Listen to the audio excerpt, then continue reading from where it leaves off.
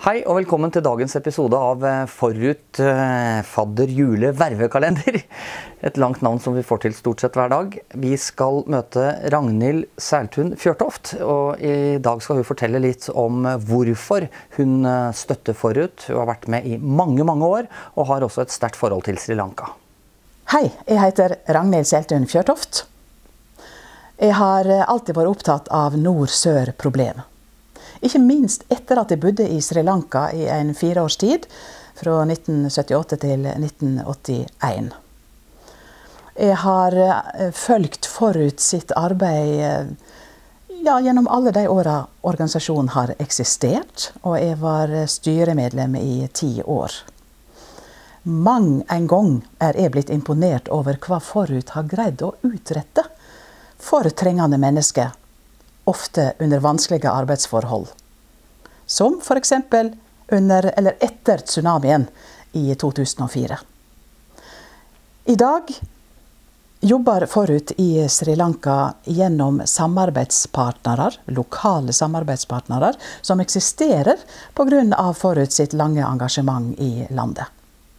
Nå bygger de nye hus for familier som mista heimene sine under borgerkrigen, som herja landet helt fram til 2009. Jeg gir min fulle støtte til det fokuset som nå er sett på krigsenkene. Det er mange av dem etter denne lange borgerkrigen. Og det er på høy tid at de får etablert seg på nytt i nye bosteder sammen med familiene sine. Det er jo faktisk gått over sju år siden krigen slutta.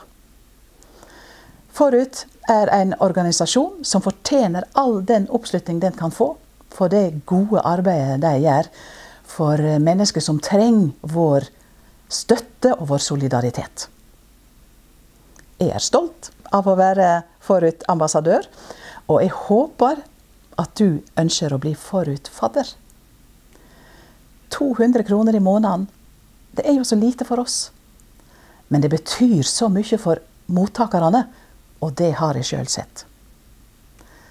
Hvis du er med på å gi en slik fast stønad, så kan du være med på å skape ei framtid for bl.a. krigsenkene og familiene deres.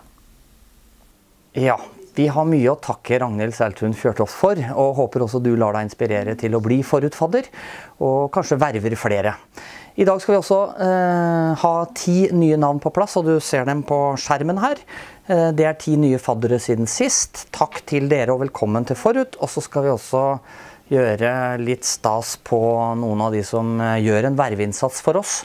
Og her er uh, urbane totninger representert ved Håkon Skau. Han verver uh, sammen med de andre stadig nye forutfaddere, og det er vi veldig takknemlige for.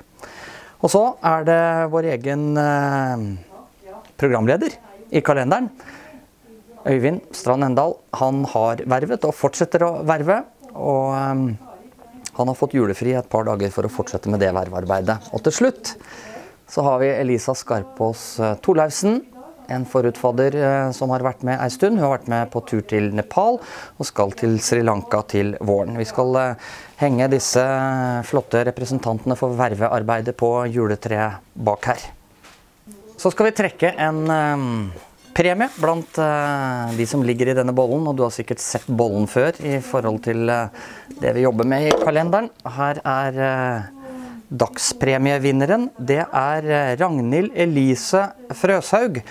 Og siden det har vært et Sri Lanka-tema i dag, så passer det å gi bordbrikker lagd av returpapir av aviser på Sri Lanka. Dette er et ganske fint produkt, og det skaffer viktige arbeidsplasser på Sri Lanka og inntekter til vårt arbeid, for du kan kjøpe slike avis-bordmatter i eh, nettbutikken på forut.no. Der kan du også verve deg som forutfadder.